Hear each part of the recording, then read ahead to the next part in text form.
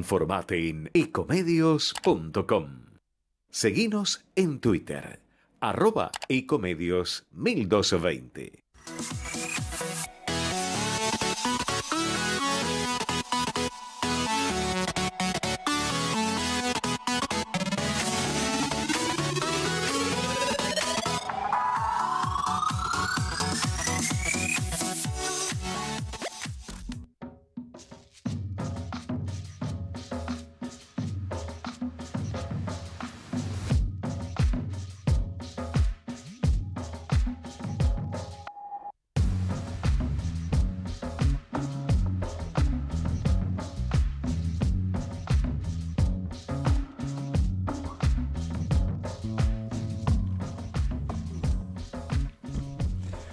Buenas tardes, una nueva edición de Entre Ustedes y Nosotros.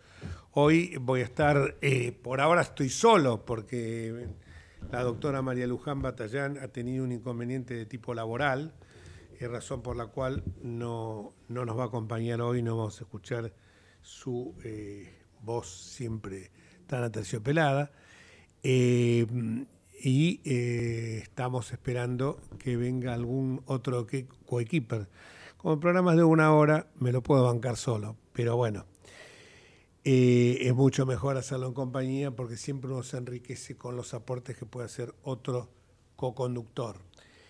Eh, hubo elecciones el domingo pasado en, las provincias, en las provincias de Neuquén y de Río Negro. En Río Negro ganó el oficialismo en la persona de Hueretilnek, senador por dicha provincia, en un frente que se llama eh, Cambiemos Río Negro, Juntos por Río Negro, eh, Somos Río Negro, y realmente cuando me tocó ser diputado nacional, yo visualizaba que por más que ellos pretendieran diferenciarse del kirchnerismo, en definitiva eran funcionales a dicha fuerza política. Como es también funcional la izquierda, o sea, la izquierda no tiene posturas propias, la izquierda tiene una postura absolutamente complaciente con todo lo que es el kirchnerismo. Eh, y entonces cuando aparecen estos partidos que uno dice, la juegan de independientes, pero después se acollaran con el que les puede dar eh, alguna suerte de beneficio y se acurrucan al calor de su oficialismo, que en el caso del kirchnerismo lo termina calcinando todo. Y después hubo también elecciones en Neuquén. En Neuquén, por cierto, las elecciones implicaron de que después de seis décadas el movimiento popular neuquino perdiera la gobernación de la provincia patagónica eh, y que triunfara eh, Rolando Figueroa, que fue con un variopinto de distintas fuerzas políticas. Hubo Mm, funcionar, hubo dirigentes del PRO en las listas, hubo dirigentes de la Unión Cívica Radical, hubo dirigentes disidentes del Movimiento Popular Neuquino, algún sector peronista, y en segundo lugar, lo segundo, tercero y cuarto, segundo lugar terminó el candidato que era el vicegobernador de la provincia actualmente, candidato a gobernador, terminó en segundo lugar, diríamos que era la lista oficialista del Movimiento Popular Neuquino, en tercer lugar creo que entró la Cámpora, o cuarto, y quinto entró en el puesto subsiguiente, ahora nos lo va a contar muy bien un gran amigo y diputado nacional por la provincia de Neuquén, que es Francisco Sánchez, a quien ya le damos la bienvenida. Francisco, buenas tardes. Acá te habla Jorge Enríquez desde Entre Ustedes y Nosotros en Buenos Aires. Y, Hola Jorge. Y queríamos, buenas tardes. Buenas tardes. Y queríamos escuchar tu opinión obviamente yo te mandé un, WhatsApp, obviamente vos me diste tu opinión, que desde luego que es un WhatsApp, es algo absolutamente privado, por lo cual no, no voy a hacer ningún tipo de mención de lo que habías escrito con carácter previo a la elección. Eh, pero contanos un poco esto que es difícil a veces de entender como alguien que viene del movimiento popular neuquino y aparece hoy como que va a romper la hegemonía de 60 años del MPN. Bueno, en realidad el resultado de la elección tuvo que ver con varias cuestiones, pero yo creo que tiene mucho que ver, definitiva, con lo que está pasando a nivel nacional. Hay necesidad de cambio, hay aires de cambio, y en Neuquén esos aires de cambio trajeron algo que para la primera vista uno dice, afiliado al Movimiento Popular Neuquino, eh, que fue vicegobernador por el Movimiento Popular Neuquino, entonces es más de lo mismo. Y en realidad es cierto, esas dos cosas son ciertas, fue vicegobernador del actual gobernador, eh, fue ministro del Movimiento Popular Neuquino, fue eh, intendente en dos ocasiones, pero en este caso fue con una propuesta acompañada por otros partidos, entre los cuales estaba el PRO. Con lo cual, no es una persona sola y aislada la que rompe la hegemonía de los APAC y del movimiento popular neuquino, sino un grupo de personas encabezadas por alguien que tiene amplio reconocimiento y que tiene este, bueno, un buen nivel de aceptación, alto nivel de aceptación, tan alto que finalmente logró que el movimiento popular neuquino como partido no ganara una elección en 60 años, lo cual para los neuquinos es extremadamente significativo y que después de 16 años de Jorge Zapare en el poder, tanto en forma directa como en no formal, bueno, la verdad que para nosotros supone un gran cambio. Por supuesto que esperamos lo mejor y que acompañaremos aquellas cosas que nos parecen bien y aquellas cuestiones que no nos parecen bien, bueno, haremos los señalamientos que conviene y que corresponde, ¿no? Pero en principio es muy alentador, es alentador un cambio de era en, en una provincia que lleva tantos años gobernados prácticamente por la misma familia.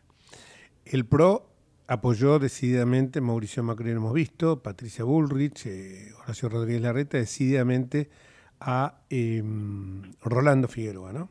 Ahora, hubo también otra lista, que fue la de Servi, que terminó creo que en quinto lugar, y que también era, decía que era la lista de Juntos por el Cambio. ¿Qué fue lo que pasó para que no se pudieran amalgamar?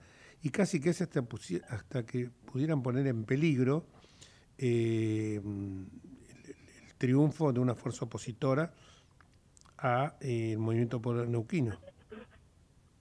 Bueno, en principio, a ver, si uno hace un análisis de lo que sucedió, hagámoslo superficialmente, no está mal que haya gente que no crea en el mismo proyecto que otros y diga, bueno, hay que hacer algo distinto. Eh, eso es la democracia también. Puede haber personas inconformes con el acuerdo y decir, yo voy por otro camino.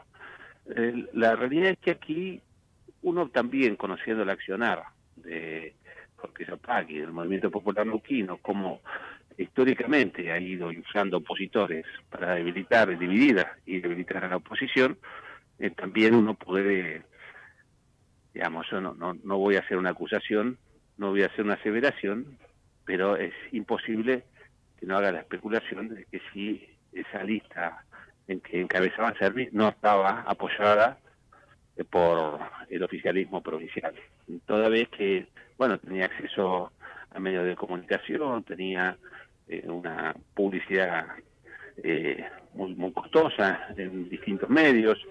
Bueno, eso uno puede hacer la especulación y tiene que ver con esto. Pero la realidad de los hechos es que no, es algo que sea ni ilegal ni que esté mal que haya una presentación de personas por fuera del esquema que prevalece. Eh, lo que sí hubiera sido ideal es que Juntos por el Cambio vaya juntos, vaya unido.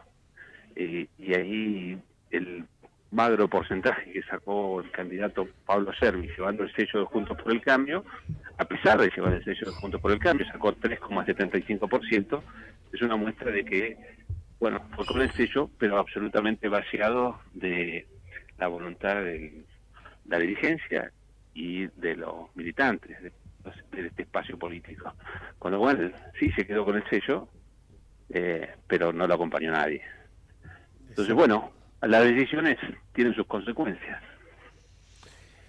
El que terminó, quien terminó en tercer lugar fue el candidato de eh, Milay. El tercer lugar fue para el candidato del kirchnerismo. Sacó 12% Perdón, el, el, cuarto candidato se identificaba Guía, que lo conozco personalmente, es un periodista eh, bastante, digamos, eh, muy fogoso para definirlo de alguna manera. Perdón, me tenté. no, pero es así, lo conozco, te digo, me hizo, me hizo pilas, infinidad de notas, me hizo guía, pero no, no, encontraba el término, me pareció adecuado fogoso. Es bueno, bueno. Me parece, bueno, y realmente lo, lo veo muy, muy luchador, pero él eh, se identificaba con Milei. Yo no sé si Milei estuvo haciendo campaña en Neuquén para él. Bueno, él eh, en las elecciones legislativas del 2021 fue con el ARI y con el ARI sacó 13%. Ahora con Milei sacó 8%. A veces las personas toman decisión de acompañar candidatos por el propio candidato y a veces por el sello. Seguro. A pesar de que mucha gente estaba eh, acompañando a Milei en Neuquén, a Milei los números le dan bien, ¿eh? ¿Ah, sí? Cerca del 20%, sí. Está, por arriba del 20%. Eh, entonces, si uno dijera, bueno, se puede traspolar automáticamente la intención de voto de Milei a este candidato, ese, ese número hubiera sido otro. La realidad es que el candidato tampoco terminaba de enamorar por esa fogosidad y además porque, bueno, un día estaba con unos y después estaba con otros y posiblemente eso quite crédito, credibilidad. yo me acuerdo que él eh, estaba... Sí, sí, sí, sí, sí, sí, sí. No, no, no, y digo que considerando esas características, es posible que haya perdido eh, de la gente que tiene la intención de acompañar a Milei, haya perdido muchas voluntades. Pero más allá de eso, también es cierto que no se puede traspolar lo nacional a lo local porque son realidades bien distintas. Esa es la pregunta que te quería hacer y me parece que vos diste el, el puntapié inicial para hacerlo. Yo creo justamente que no se pueden traspolar los votos así porque entiendo que a Patricia le dan bien los números en Patricia Bullrich en Neuquén, y, bueno, y todos festejaron la victoria de Figueroa como si hubiera sido la victoria, y me pareció una parte de la victoria personal de cada uno de los que así habían manifestado su apoyo. Pero me pareció muy bien también que Figueroa, mm, lo escuché hablar en algunas declaraciones, eh, ¿eres empresario o, no, no, no, Hoy, hoy, es diputado nacional. Sí, sí, sí, Y es un hombre de la política tradicional. De la política tradicional. Pero, pero es como decís vos, eh, en realidad Patricia eh, lidera todas las encuestas de opinión. Eh, en Neuquén. Por mucha diferencia, en Neuquén, pero por mucha diferencia respecto a los otros candidatos o precandidatos. Eh, al que menos le saca, le saca 10 puntos porcentuales, con lo cual ella está muy arriba de, de otros. Claro, faltan un par de meses, pero no significa que la gente que votó ahora al PRO va a acompañar al PRO más adelante y no significa que la gente que votó a cualquiera de los otros candidatos va a votar al mismo signo político, sino más bien a la persona. Seguro, eh, seguro. hay que ver en la legislativa si el MPN nunca suma los mismos votos que para las elecciones a, cargos ejecutivos. Así que por eso digo que no, no, no es fácil transpolar esas cosas o no debería hacerse de manera automática. No, no, no, se ve. Y aparte, bueno, desde luego ninguno de los candidatos siempre mm, tratan de ir con boleta corta, por eso se separan las elecciones nacionales de las locales, porque saben que en muchos casos es un contrapeso. No fueron contrapesos a lo largo de la historia democrática reciente.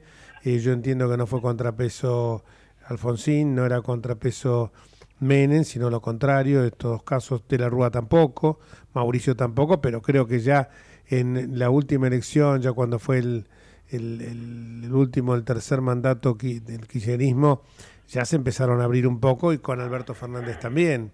O sea, no, no, no, no. Y ahora vemos que el festival de las, de las elecciones separadas es eh, rutilante, ¿no? Porque incluso hasta Kisilov lo va a hacer. O sea que eh, veo que se, se buscan separarse de las elecciones es muy alentador esto que está diciendo Patricia Burger, no porque uno esté con, alineado con ella, sino porque realmente yo estoy convencido que es cada día me convenzo más que es la mejor candidata para el momento que se enfrenta. Así que... No tengo dudas de eso. A pesar de que uno a veces escucha en ciertos medios que los números son otros y a veces se la omite de las, de las muestras, de las encuestas, la realidad es esa, es, apabullante la diferencia y la mayor parte de la gente cree que hay que tomar decisiones en base a la experiencia, a la trayectoria, pero también con mucha valentía y ese Patricia Burrich sin duda es referente en esos tres campos, por lo menos. Sí, no, no, totalmente de acuerdo, porque además ella es, eh, eh, tiene el coraje, tiene, ha, demostrado que tiene decisión para todo esto, es una persona que tiene un estatus, un modo de vida que se ha mantenido inalterable, que eso para mí es fundamental, sobre todo en esta elección donde la gente va a poner mucho la lupa en todo tipo de antecedentes que tenga y sobre todo que va a tener una ejemplaridad dirigencial tremenda, por eso yo mucha gente que le digo, te querés meter en política para tener un cargo, está sonado porque el gobierno que venga va a tener que hacer un ajuste y el ajuste lo va a tener que hacer los, los ejemplos las buenas prácticas se demuestran a partir de lo que uno hace en su propia casa, o sea, tiene que dar testimonio de esto. Y me parece que ahí eh, Patricia es también alentador esto de que Esper aparentemente querría participar dentro de la interna de Juntos por el Cambio, la aparición de López Murphy, que la ciudad de Buenos Aires es importante también porque saca muchos votos y del radicalismo tradicional, o sea, el radicalismo que no se banca que quien estuvo con la 125, que, que quien fue embajador de Macri, eh, digo bien, de Macri en Estados Unidos, después lo dejó colgado del pincel. Entonces me parece que todas esas cosas hacen de que, mm, y además vos dijiste algo, que hay como un permiso social al principio, que tiene un cambio de época, como un, eh, como un eh, permiso social para hacer cambios que en otras épocas eran inimaginables. ¿Vos no entendés que es así? Sí, está claro que es así y, eso se va a dar en, muchos ámbitos. Y, eh, pero así todo implica un riesgo, por supuesto, porque eh, hay decisiones que implican a muchos sectores, a mucha gente, y no todo el mundo está dispuesto a tomar esas decisiones, no todo el mundo está dispuesto a enfrentar las consecuencias de hacer lo que se tiene que hacer. Entonces, por eso creo que más allá del permiso social y más allá de que todo el mundo o, aquel que gobierne va a tener ciertos permisos, se requiere de mucha decisión y mucha valentía. Eh, y es más allá de los aires de cambio, eh, yo creo que se, se, van a ir intensificando este año. Eh, el permiso social combinado con la valentía de quien toma las decisiones va a ser central este año. Sí, hoy a la mañana yo hablaba con un compañero, nuestro, compañero nuestro también, Martín Grande, que tiene un programa de radio en Salta, me hizo una nota a raíz de, de, un, de un artículo que publiqué yo, creo que en, un, una revista, Realidad, acerca de lo que es el populismo. Y entonces él me decía que la gente en Jujuy, en Salta, perdón, eh, señalaba que Patricia les iba a quitar todos los planes. Y no es así. Los planes, lo que se va a buscar es un empalme, se va a buscar de que se transformen en seguro de desempleo. Eh, yo te digo, mira, eh, ah, hoy saqué una foto de un boliche que queda en Tucumán y Uruguay. Pues fíjate el daño que hacen los planes trabajar, una cafetería, donde dice un cartel en la puerta, se necesita mesero, lavacopas y cocinero y ayudante de cocina. Te digo, me acerqué y le digo al dueño, hace mucho que tenés puesto esto, y me dice, todos los que cobran planes de trabajar no les interesa esto. ¿Por qué? Porque pierden los planes de trabajar, pero yo les ofrezco obra social, aportes jubilatorios, eh, eh, tener un trabajo en blanco, posibilidad de horas extras, eh, premios, no, no, no les interesa. Y por ahí hasta ganan un poco más que con los planes sociales, pero se han adocenado tanto, se, están tan domesticados que esa dádiva que era contención, de ninguna manera incentiva el progreso. O sea que el tema no es tan, Patricia lo decía bien el otro día, el 5% de la gente que hace los piquetes, de los que reciben planes, solamente el 5% va a ser piquetes y están siendo manipulados. El resto está tratando de ver cómo puede ser alguna changa. Sí, uno les va dando la posibilidad de, no abruptamente, pero como pasa en todas partes del mundo. Me parece que ese es el camino, ¿no es cierto? Sí, no hay dudas, no hay dudas, pero hay que resolver estas cosas eh, con mucha claridad, no solamente de la decisión, sino también desde la explicación. Exacto. Pero yo creo que ya hay, mucha gente que ya ha comprendido que es así. Lo mismo, por ejemplo, con el sinceramiento sobre la tarifa, ¿no? Porque está, claro que ya no un sistema en el cual las personas no paguen lo que se tiene que pagar y que se consuma eh, de una manera desmedida, que incremente el nivel de consumo a niveles de que estalle todo, entonces nos tiene que hacer dar cuenta de que ese sistema ya no funciona más. Está agotado. Se tiene que hacer cuenta que hay que, hay que cambiar las cosas de raíz, pero para eso también hay que explicarla. En su momento, yo creo que cuando Mauricio Macri quiso modificar eh, la, o, hacer un sinceramiento sobre las, tarifas, no contaba con un crédito social. Hoy sí, hoy, hoy está ese crédito, pero también, de nuevo, va a requerir de un esfuerzo de comunicación y de una claridad en la comunicación que, bueno, eh, tiene que Patricia rodearse de gente que, que estoy seguro que lo va a hacer, de gente que lo explique de la manera adecuada para que la gente lo acepte como un bien común, no como una forma de ataque o, de, presionar a determinados sectores. Muchísimas gracias, Francisco. ¿Estás en sesión vos? Eh, no ahora mismo. Sí. Porque estoy hablando con ustedes, pero sí, no, pero está, ya se tocó el tema, ya se, el, se llegó a tratar en la sesión el despacho de comisión de el lavado de activos. Sí, señor, sí. ¿Salió? Ahí tuvimos algunas diferencias con el, el, este, radicalismo y con, con el LARI, pero en definitiva fuimos con una postura uniforme. Uniforme.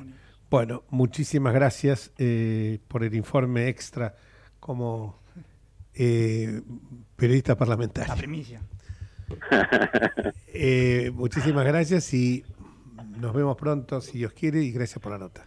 Un abrazo. gracias a vos. Un gran abrazo. Y ahora seguimos, ahora que se ha sumado Gastón M. No te había presentado, por eso como no te había presentado, cuando me dijiste así, eh, se encuentra acá el joven Gastón M., titular de la Asociación Sarmiento. Eh, y creo que ya tenemos otra nota que es muy, pero muy interesante, vinculada con algo que eh, no tratamos en el editorial para dejárselo justamente a la titular de una ONG, Adecua, que trabaja intensamente en todo lo que hace a la defensa del consumidor y ahí es nada más y nada menos que Sandra González, la doctora Sandra González, con la cual vamos a hablar de, este, de esta segmentación de tarifas que va a ser también un duro golpe al bolsillo de los consumidores, de los ciudadanos en general. Hola Sandra, ¿cómo te va? ¿Qué tal? ¿Cómo les va? Buenas tardes, ¿cómo andan? Bien, acá estoy con un joven que se, se está interiorizando mucho de todos los temas políticos, está militando activamente. Gastón M, que te está escuchando también. Ah, ¿qué tal, Gastón? Buenas tardes. ¿Qué tal, Sandra? Un placer. Eh, decinos, eh, eh, como disparador, este tema de la segmentación de tarifas, que se esperan aumentos hasta un 90% para mayo, esto es otro golpe durísimo, ¿no? Sí. Sí, sí, sí, sí, sí. Esto a partir de mayo se esperan aumentos de en electricidad de hasta hasta un 90% a todo lo a, a todo el segmento 1 al que no al que no tiene este, no va a tener ya prácticamente más subsidio, pero no obstante eso, se espera un incremento del 90% en, en la factura y también a comercios, que no es un dato menor.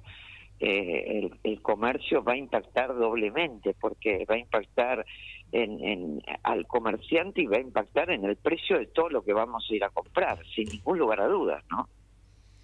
Y esto, obviamente, este número fantasioso de masa 7.7, como le digo yo ahora, eh, este número fantasioso obviamente va a sufrir un disparador, eh, porque esto impacta en todo, no, es solamente que es la tarifa lo que vos decís bien y explicás muy, que explicás brillantemente, esto no es que la gente dice, bueno, me aumenta a mí, no, pero también le aumenta a quienes son los formadores de precios, ¿no?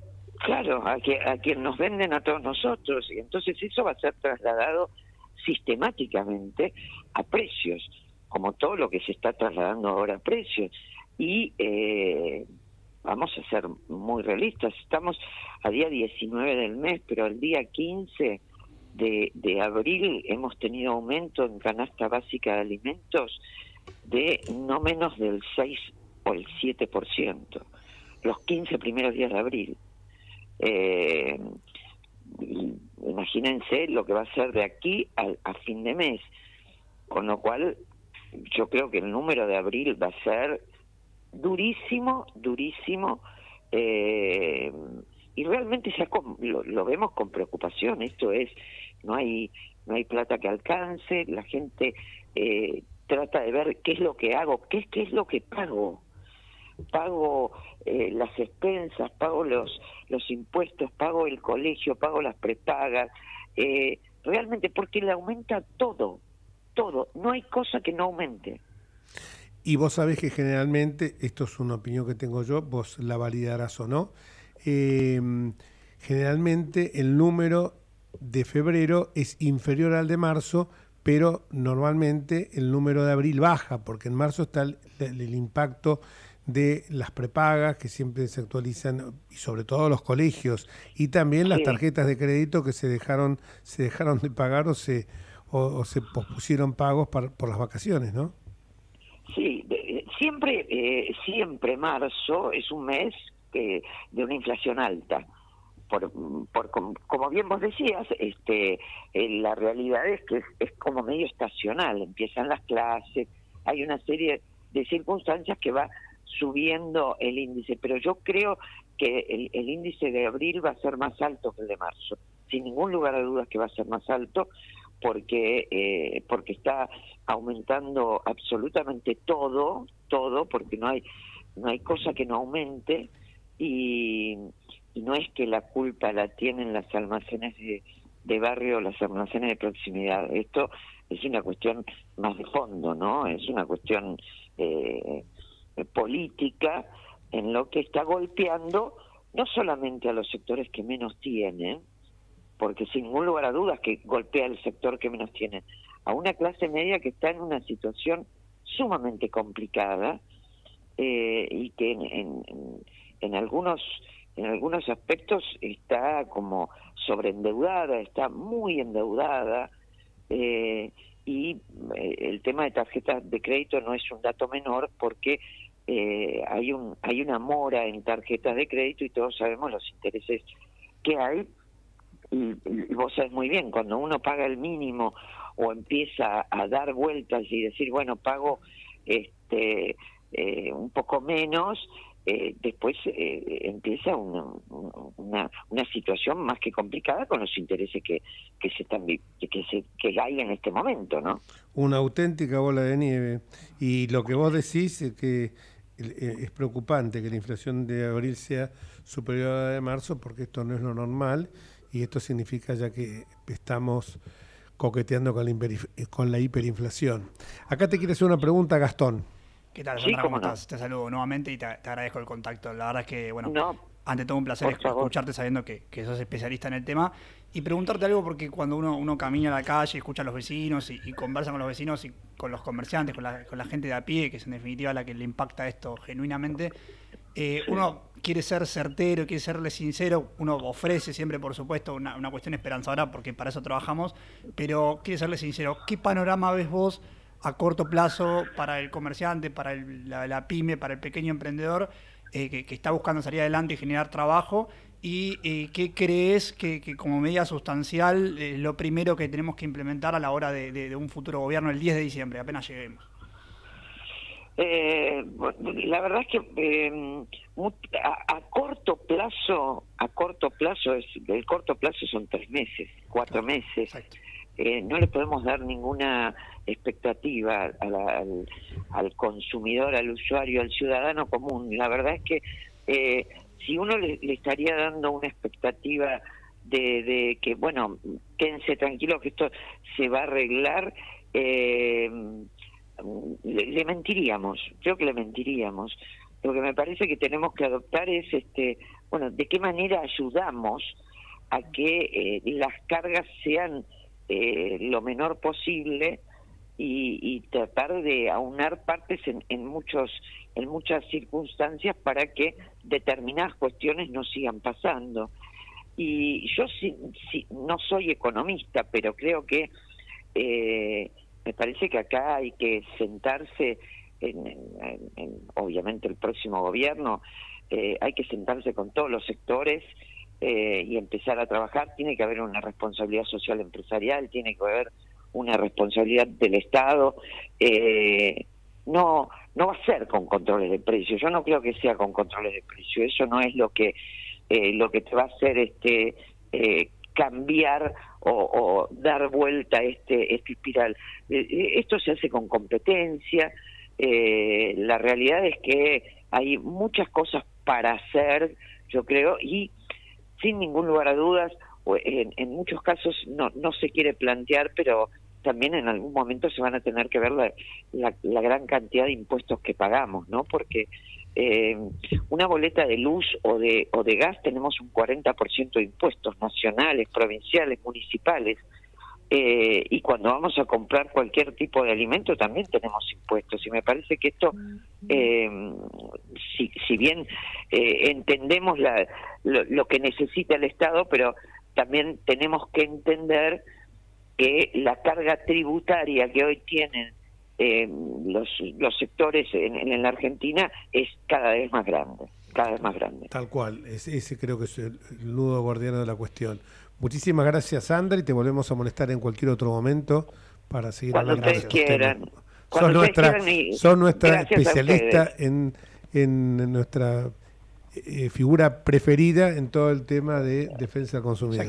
Muchas gracias. Muchas Nos conocemos de nuestra militancia hace unos cuantos años. Pues siempre, pues siempre fuiste niña. ¿eh? Sí, muchas gracias. Gracias. Bueno, les mando un beso enorme. Gracias, Hasta luego, gracias.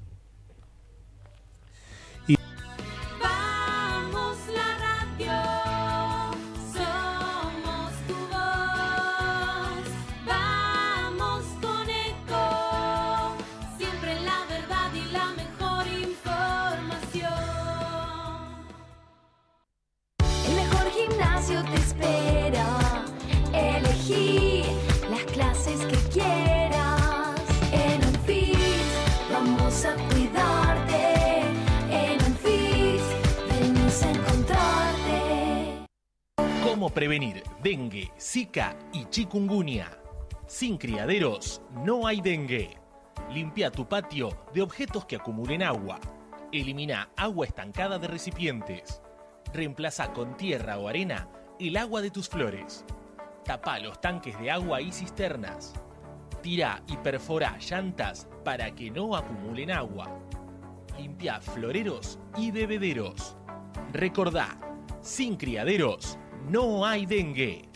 Intendencia Menéndez. Informate en ecomedios.com. Seguinos en Facebook. Ecomedios Live.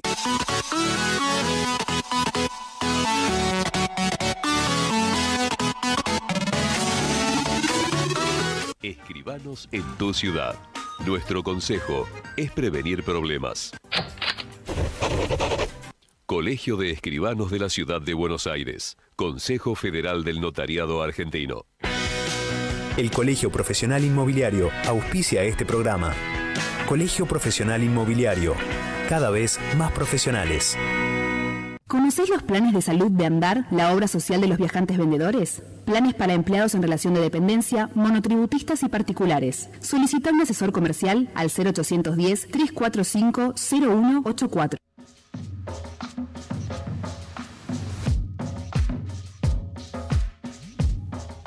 En las últimas horas hubo algunas declaraciones muy fuertes, muy llamativamente eh, violentas por parte de algunos dirigentes del que se siguen dando ahora en el foro de Yao donde dicen que siempre hablan de lo mismo, una manía piromaníaca que están teniendo algunos funcionarios. Es preocupante cuando recién un sindicalista de apellido Manrique dice que en Yao Yao a todos los empresarios habría que prenderle fuego. Eh, esto, si lo, le agregamos las declaraciones de, Aníbal Fernández y de otros integrantes del Ejecutivo eh, Nacional, eh, que hablan de que van a correr ríos de sangre, lo dijo el propio presidente de la República, que si gana la oposición van a correr ríos de sangre y va a haber muertes por todos lados, eh, están evocando la idea de que sin el peronismo no se puede gobernar. Y cuando el peronismo está en la oposición, por eso yo el artículo ese que se había publicado en un medio de Mendoza, de Mendoza Online, le puse que el kirchnerismo ya parecería que está juntando las piedras, porque si no nos explica cómo parecería que no, no aprendemos nunca más la lección. Pero mm, hablando del tema económico, sustancialmente, y político, La tenemos en línea la periodista, a la periodista Florencia Donovan, que es eh, una de las, mm, de las voces principales del matutino La Nación, y que el otro día tuvimos una charla muy amable, muy amena, eh, con ella en, la, en un evento donde participó Patricia Bullrich con todos los empresarios de la Cámara argentino, franco-argentina, de bienes de productos y servicios, y mm, fue muy atinada algunas definiciones que en, la, en lo coloquial que puede ser un almuerzo, eh, señaló ella, y también porque explica la economía de una manera muy, muy clara, accesible a todo el mundo. Así que te damos la bienvenida, Florencia, Jorge Enríquez, y me acompaña el joven Gastón Emens, presidente de la Asociación Sarmiento, joven de 21 años, que está eh, eh, con todo el tema de educación. Así que la primera pregunta que te quiero hacer es la siguiente. Es una pregunta sencillita. ¿Cómo ves el futuro en los próximos meses con esta escalada que se está dando con el dólar, por un lado, que por más que algunos economistas dicen que es un precio más del mercado, sabemos que esto repercute en la sensibilidad de la gente, que la busca siempre la moneda estadounidense como un refugio que las ponga a resguardo de, la, de los brotes inflacionarios. Eso por un lado, y por el otro lado, esto de que daría la sensación de que siguen como cuando sumieron sin dar con el clavo. Eh, Jorge, vos me saludaste con un bombazo directamente. Eh, bueno, a ver, ¿cómo decirlo de una manera que sea eh, políticamente correcta y también cauta? Evidentemente, el desafío que hay hacia adelante es mayúsculo, mayúsculo porque está claro, no hace falta que uno eh, diga demasiado, pero está claro que la inflación está desbordada y que además al mismo tiempo faltan dólares. Y el problema, a diferencia de otros momentos de la historia reciente Argentina, en otros momentos el gobierno devaluaba o tomaba alguna medida más drástica, pero había una conducción política muy fuerte que servía de ancla para una situación de amplia, alta incertidumbre económica. Creo que el problema hoy es que si el gobierno devalúa, tal como le está pidiendo el Fondo Monetario Internacional, que el fondo le está pidiendo por lo menos que acelere el ritmo de evaluación para checar la brecha entre los distintos tipos de cambio, hoy no hay una ancla política muy fuerte que sirva de contención. Entonces, la verdad que el gobierno está en una disyuntiva porque al mismo tiempo no quiere devaluar, no quiere acelerar demasiado la devaluación, no tiene la fortaleza política para tomar ninguna medida de fondo que sería necesaria en este momento y al mismo tiempo la inflación en este en este esquema está está desbocada porque también si uno piensa que es productor que es comerciante y tiene que salir a poner precios cuando no sabe cuál va a ser el valor de reposición de un bien realmente no sabe si va a poder importar si va, el valor de reposición va a ser uno u otro y estamos todos en, en una especie de navegando no eh, sin instrumentos. Es muy difícil la situación que tiene ahí el gobierno. Yo diría aún pensando en que tiene buenas intenciones, no tiene con qué. No tiene, no tiene con qué es prácticamente salir bien parado de esta situación, ¿no? Más que, bueno, rezar de tener algo de apoyo internacional para poder ir al menos navegando hasta que llegue la fecha electoral y ahí sí que haya tal vez un interlocutor ese después el que se siente con organismos de crédito, con empresarios, con demás, que ya empieza a pensar los próximos cuatro años. Ahora, esto que hablábamos, que que hablábamos el otro día en privado, es en gran medida la incertidumbre o la gran duda ahora pasa por que en una elección atomizada no va a estar tan claro, por lo menos pronto, tan temprano, tan temprano como agosto, quién es ese interlocutor. Con lo cual se suma a todo este escenario que decíamos recién, eh, se extiende el tiempo, ¿no? Se extiende en el tiempo el conocimiento para los distintos actores económicos de quién va a ser ese líder con el que se pueden sentar a decir, bueno, ¿y vos qué vas a hacer? ¿Vas a hacer esto? ¿Vas a hacer el otro? Eh, ¿Cómo vas a tratar tales temas? ¿Cuál va a ser tu política económica, tu política industrial, tu política cambiaria? Así que estamos en un momento muy difícil, ¿no? Gastón. Sí, bueno, ante todo saludarte Florencia, muchísimas gracias por, por el contacto. Recuerdo que Florencia estuvo al aire el primer programa que yo vine, así que siempre es un grato recuerdo tenerla, tenerla aquí presente. Eh, lo que te iba a preguntar un poco sobre este tema de, la interna de Juntos por el Cambio, porque uno quizás está muy imbuido en el día a día eh, digamos, muy involucrado, obviamente, con una posición, esto no tiene por qué implicar la confrontación, ¿no? Pero una, posición que uno tiene. Preguntarte vos desde afuera, para escuchar un poco cómo, cómo se ve desde, desde, lo que es la sociedad civil, vos particularmente desde el periodismo, que, que analizás día a día esta situación, ¿cómo, ¿Cómo percibe la gente a, tu lectura la, interna de Juntos por el Cambio? Si, si, es genuinamente la percibe como una confrontación, si realmente se, percibe este objetivo que le damos de discusión de ideas, ¿qué consideras comunicacionalmente que se puede, eh, digamos, ajustar o, trabajar para que se entienda que, esto es una discusión genuina de ideas o que eso debe ser? Es que el problema es que la gente hoy no, no sé si quiere ver esa discusión de ideas en la esfera pública. La gente espera que ya le den eh, un rumbo cocinado. La gente la está pasando tan mal, peor. Y digo la gente, todo el mundo, o sea, vos, yo, cualquiera va al supermercado y todos los días se enfrenta con la durísima situación de decir, uy, qué caro que está todo, que no sé si, bueno, compro menos, hago esto. La gente se encuentra con empleos que de repente trabajando en empresas que le dicen, no, mira, tal proyecto lo cortamos, tal cosa no, vamos a esperar a ver que se que aclare la incertidumbre que, que, veamos cómo sigue el siguiente, eh, digamos, la política hacia adelante. Entonces, la gente en algún punto espera, necesita ver a alguien fuerte. La realidad es que uno ve, incluso lo habla con empresarios, necesita un líder que tenga claro qué quiere hacer. Por más que obviamente nadie tiene la bola de cristal y casi un pensamiento mágico, un pensamiento ingenuo. Eh, la gente no, no, no, no quiere ver estas internas o estas peleas o estos debates en, la esfera pública, porque quieren que ya le den masticado decir, nosotros vamos a estar, no te preocupes y vamos a hacer esto. Eso es lo que alguien espera de un, liderazgo fuerte. Y todo este debate que se está dando en la esfera pública también hace que la gente dude y diga, ¿y se van a acompañar después? O cuando haya que tomar medidas fuertes, desde adentro los van a estar bombardeando.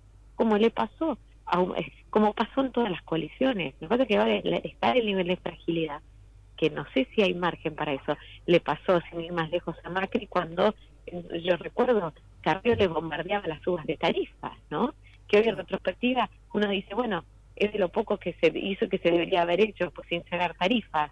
Eh, digo, y así todo, mismo en esta coalición, cuando eh, en algún momento una de las patas quiso hacer algo y desde el otro lado la frenaban. Bueno, el caso del acuerdo con el fondo, que quiso mismo salió el propio Máximo Kirchner a decir yo no estoy de acuerdo con este acuerdo y, y renunció a su, a su lugar no en el frente de todos. Y digo, eh, yo creo que hoy la situación está, la gente dice basta de mezquindades políticas, basta de pelearse por la mía, la tuya, el lugar o esto, el otro, y espera que le den ya un discurso cocinado, ¿no?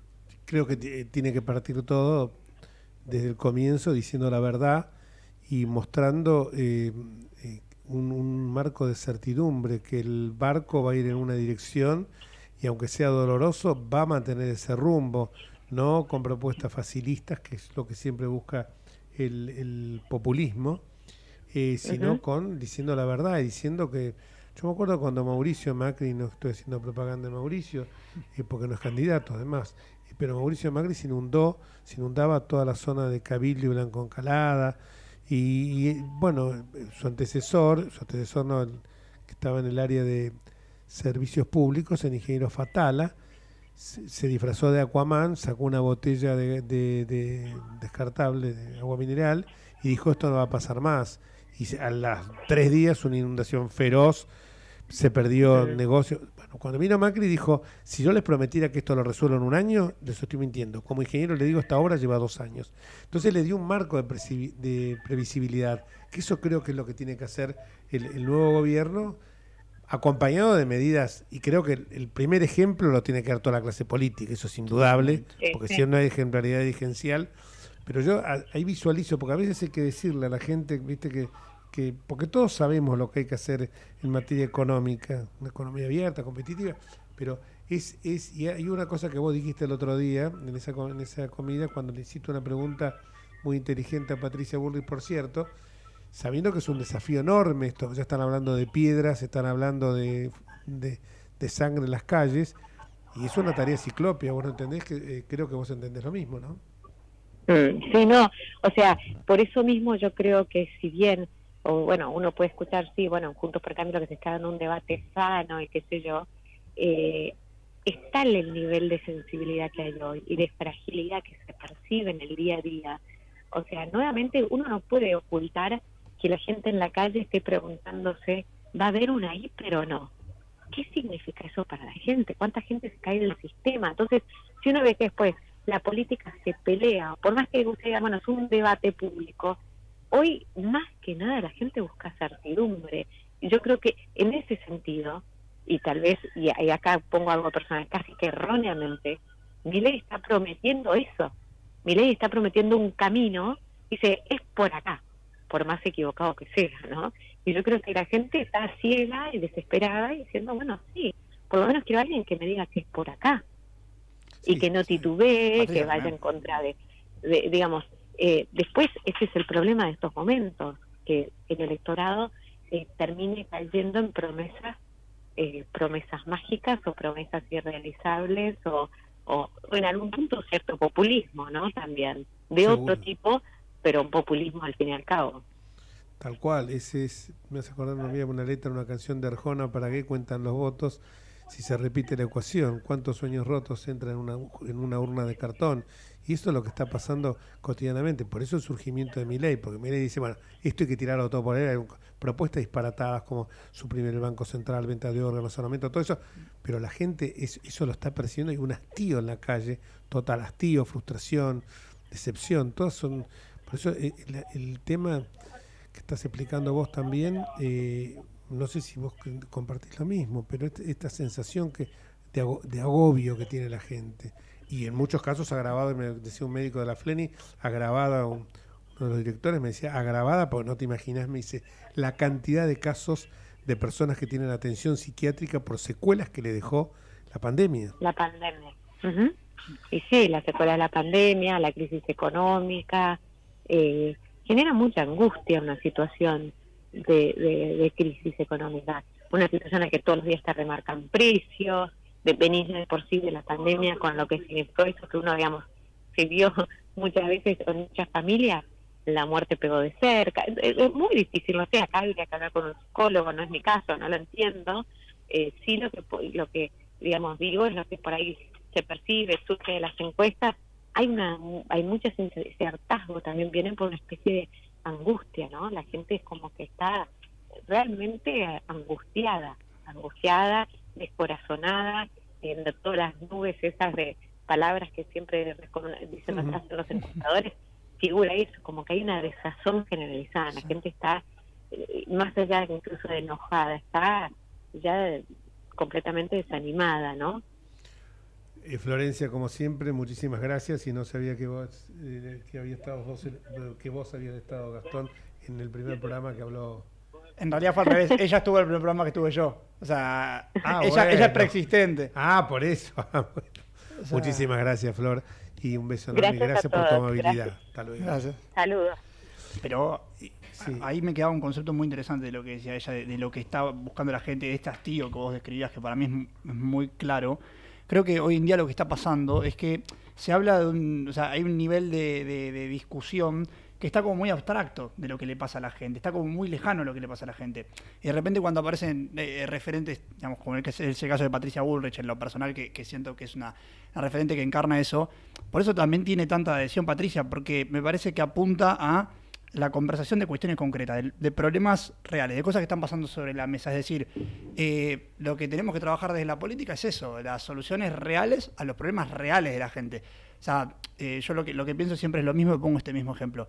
Cuando vos vas al médico, si vas al traumatólogo porque te duele la rodilla, vos querés que el traumatólogo te cure la rodilla. Si el traumatólogo se pone a debatir con un foro de científicos sobre tu rodilla, vos no le vas a querer pagar. Entonces, ¿por qué tendrás que votar a un político que se pone a establecer foros de consenso y hay que ir y resolver el problema. El, que gestiona tiene que estar para eso en toda escala. Cuando vos hablas con el vecino te dice eso, yo necesito contratar a un empleado, necesito llegar a fin de mes con el negocio, necesito salir tranquilo a la calle.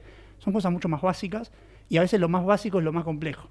Pero creo que es eso. No, es tal cual. Yo, eh, cuando estábamos hablando, editorializando esto de la violencia, yo creo que hay una mezquindad tan grande, tan grande, tan grande que no se piensa en el país, se piensa en el bolsillo propio. Macri lo dijo muy claro, Mauricio Macri cuando dijo hay que hacer una serie de reformas copernicanas, pero con la mía no te metas, la mía no la toques. Y nosotros sabemos que es así, porque nosotros sabemos que hay muchos, eh, hay mucha gente que está trabajando en las campañas electorales y de cualquier partido que sea, diciendo, a ver, me, gustaría ir acá, me gustaría el curro. claro, Me gusta. Ahora, no me molestaría que alguien quisiera ser diputado, senador, eh, concejal, lo que se le ocurra, si lo va a hacer con vocación, pero si lo va a hacer, por un lado, para acomodar a toda la familia, para acomodar a los amigos y para entronizarse en una poltrona y quedarse ahí por los siglos de los siglos, como pasa en muchos casos, muchas veces yo he escuchado hablar a políticos que dicen, ¿y con este qué vamos a hacer? Eh, ¿A dónde lo vamos a mandar? No, porque no pueden ir todos al cargo de todos, eh, porque todo cardenal quiere ser papa, pero papa hay uno solo. Entonces, ¿qué haces? Entonces, no, no, pero si fulano mengano pierde la interna, ¿qué hacemos con él? Que se va a su casa, hermano. Yo cuando terminó mi mandato de diputado no pude ir a la reelección, me fui a mi casa y no lo vi como un fracaso. Lo vería como un fracaso si el cargo fuera de mi propiedad, pero como es un cargo prestado, me lo dan y me lo sacan. O sea, no es que tiene fecha de vencimiento. Yo cuando subí como diputado decía, fenece el 9 de diciembre del año 2021. Ni un segundo más. Listo. Ahora, si yo después del 2021, al día siguiente, no, iba el 10 de diciembre, no, de acá no me sacan. No, ¿cómo no te van a sacar de acá?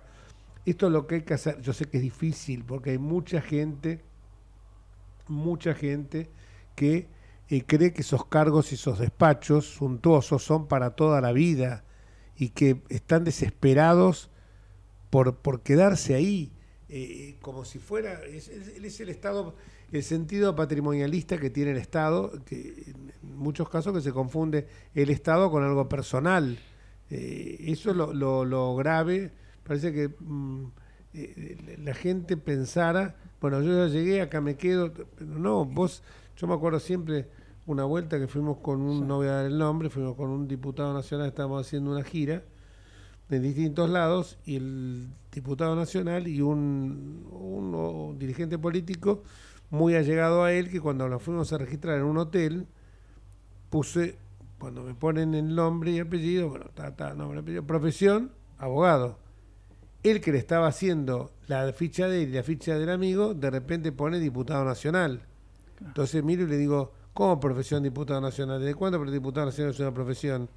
Bueno, no, pero él es diputado nacional. Si dijera cargo, te lo acepto, pero profesión no, no estudió para diputado nacional. Ese es el concepto que a veces se entiende, que es el concepto que debe ser el, faro que anima a todo el mundo en política. Es que la falta de vocación. Es la falta de vocación. Porque si vos tenés vocación, te rompes el alma para, para, que, si, para que lo que te mantenga sean los logros, no, no el, dinero o la rosca o el. Claro, pero para mantener los logros dicen, para mantener los logros dicen tengo que tener muchos votos. Y para tener muchos votos, ¿qué tengo que hacer? Acomodar a todos aquellos. Yo lo viví esto en el radicalismo. A mí que no me la cuenten. No vengan a contarme porque no son ángeles vestales.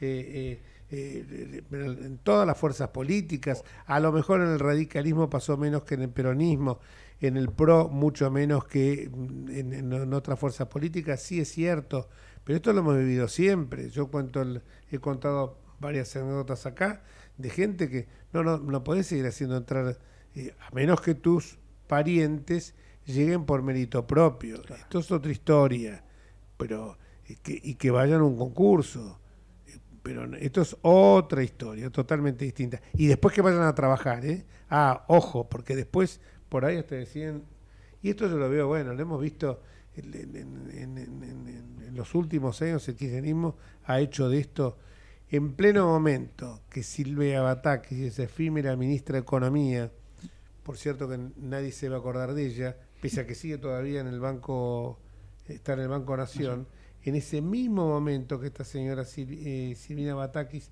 decía que había que achicar el gasto, ella, ¿qué fue lo que hizo? Directamente la señora, muy... Eh, ella no, ella dijo esto, el señor Kisilov se apuró en meter por la ventana 47 mil empleados públicos. Así, así nadie lo puede creer. es la misma que dijo que el derecho, el derecho a viajar colisionaba con otros derechos y demás, y ella misma después viajó a Estados Unidos a comprarse un iPhone. Entonces, nuevamente lo mismo, la gente lo que necesita es que nos dejemos de hablar por la tele o por donde sea de no, que esto es de izquierda, que esto es de derecha, que esta idea, que esto es lo otro, con, con voluntarismos. Yo la, otra vez escuchaba un discurso de Alfonsín y, me parece que sigue siendo muy contemporáneo, que él hablaba de que el, populista, el fanático, te hablaba con voluntarismos y que la conversación se volvía ramplona e irreversible. Eh, y, me parece que en eso hay algo que hoy en día se sigue viendo. Se habla, no, que la izquierda, que la derecha, que, el, que quieren prender fuego el país, que esto, que lo otro, que el reguero de sangre. Nadie, o sea, nadie casi casi, porque creo que, la doctora Patricia Burrich en esto es honorable y lo está haciendo con suma claridad, pero casi nadie en el país se está sentando a hablar de lo que necesita la gente. ¿Cómo bajo impuestos? ¿Cómo favorezco la seguridad? ¿Cómo resuelvo el tema del narcotráfico? ¿Cómo resuelvo el tema del espacio público, del desarrollo de las rutas en el país? Uno viaja por el país y mira al costado y decís, acá hay para desarrollar muchísimo, esto podrían ser fuentes y fuentes y fuentes de trabajo, y nadie está hablando de eso, están hablando no, que o que el diálogo, o no, que la derecha, o no, que... Entonces esos voluntarismos son ramplones y bajan el nivel de la discusión. La, discusión ramplona de la que hablaba Alfonsín es tal cual. Eh, Alfonsín decía que el populista se mueve con, clichés, con, algún tipo de con algún tipo de cuestión ya directamente con frases hechas y eh, no acepta ningún tipo de discusión, no acepta, se, se encierra en una caparación, en una coraza tan fuerte que se transforma en impenetrable. Eh, yo creo que en esto hay que ser muy claro, concreto, la ejemplaridad dirigencial es fundamental. El diálogo sí, pero el diálogo con quien te está diciendo que te va a tirar 14 toneladas de piedra como mínimo y te está diciendo que va a correr río de sangre y muertos si gana o como este que hay que prenderle fuego a todos los este tal Manrique que hay que prenderle fuego a todos los a todos los empresarios me parece que de esa manera el diálogo es imposible y nos están echando, Gastón. No, la semana que viene. Vamos hasta el miércoles que viene, si Dios quiere. Chao. Chao.